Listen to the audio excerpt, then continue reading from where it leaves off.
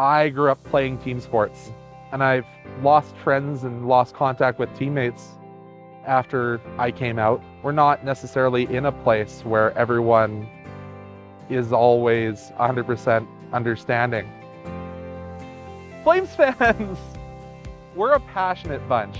I love being a Flames fan. I love the passion, the drive. I couldn't dream of being part of another fandom like this. Obviously, the Pride Night's huge.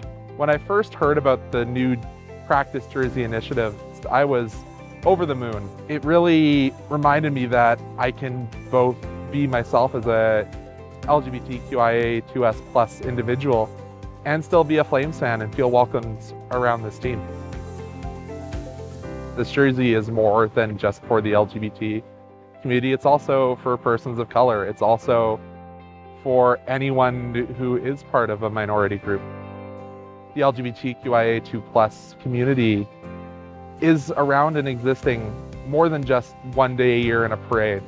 Recognizing that we come to games, we're in the stands every game.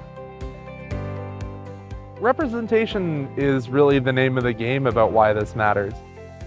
If that's somebody who's struggling on their coming out journey or even questioning their self identity, and they can see themselves, even if that's just in a jersey, that matters.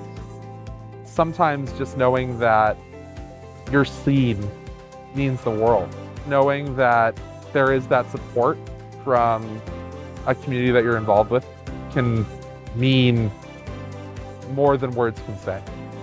My name is Conrad, and I'm a proud Calgary Flames fan.